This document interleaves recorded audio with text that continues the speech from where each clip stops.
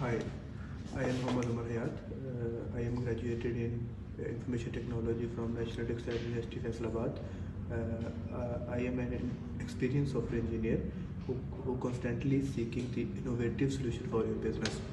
So uh, I offering the uh, services of mobile application development, web application development by using latest technology, React Native, React JS, Node.js for backend.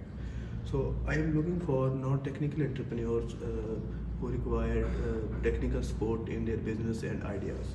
Uh, I have four-year experience in, in my technical field.